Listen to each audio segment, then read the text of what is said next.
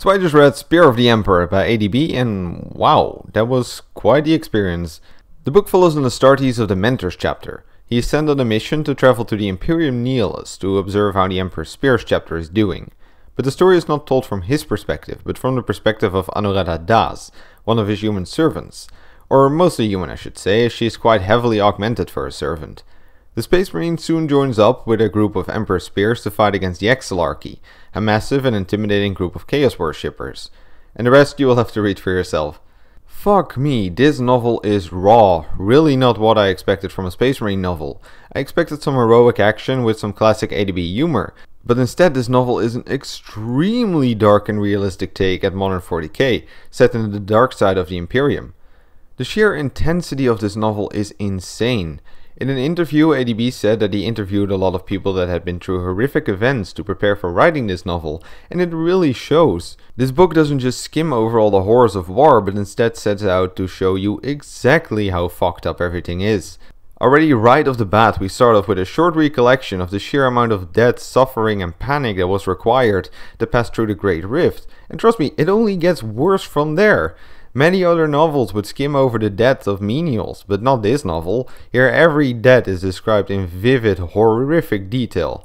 Combat as well is not filled with one-liners and heroic charges as usual.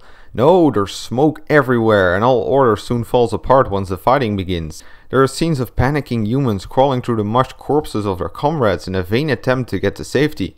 I'm used to seeing and reading quite some fucked up shit, but this novel feels so real I couldn't help but feel a little shocked at what I was reading at some points. The fact that we get a human perspective here also greatly contributes to this factor. Oh by the way, if you thought the combat was the worst of it, then you thought wrong. There's also horrific descriptions of what it's like in a chaos slave camp, complete with all the torture you would expect. Combined with a very personal diary style of writing, this results in a really terrific end product. Then finally, just in case all of that didn't make you flinch, there's also some truly heartbreaking emotional scenes. ADB always does a great job of creating characters that the reader will care about, only for him to then put these characters through the most fucked up shit imaginable. Altogether, this novel is quite a ride on the emotional roller coaster. Another great thing this novel does is flesh out the Dark Imperium setting. ADB had a unique opportunity here to flesh out this part of the setting, as there were very few in-depth stories from this side of the Great Rift, and he did a great job in my opinion. The Dark Imperium feels like a lost cause where almost all hope has disappeared, and where humanity is confronted with one horror after another. It really feels like a unique setting, separated from the pre-Rift 40k setting. There are also some other very interesting things that are fleshed out and some very intriguing dilemmas that were covered, but I sadly can't say what without spoiling the book for you. What's also quite impressive is that it does all of this without feeling like an exposition piece.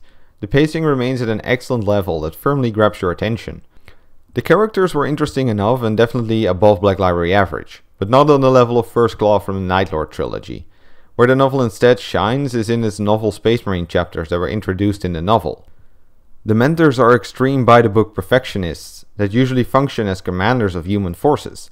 The spears are somewhat barbaric, but they make up for it by forming a true brotherhood, a bit of a strange crossbreed between Luna Wolves, White Scars and Space Wolves. And then finally the Celestial Lions, who really can't seem to catch a break. Especially the interactions and developments between the clashing culture of the Mentors and the Emperor's Spears was great to read about. Then let's close off with some final remarks. There is some of ADB's characteristic humor in the book, and those scenes were indeed pretty hilarious. But they are few and far between. This is a far more serious book than usual. Furthermore, Spear of the Emperor doesn't hold the Imperium in very high regard, so if you're a die-hard Imperium fan, you might be a tad offended by it. But I think that it's a nice change of pace from the usual Imperial propaganda. Then finally, while I can't say much about the plot without spoilers, the structure was quite unique and there were some pretty good twists. All in all, this book gets a very well deserved 5 out of 5 spears. Keep in mind this book is absolutely not meant as light reading material. But if you're not too bothered by that, then I can't recommend this book enough. Never before have I read a Black Library book that felt so intense, so raw, so real. Truly a unique entry into the Black Library. Anyway, that's all I got for you today. Red and the Earth.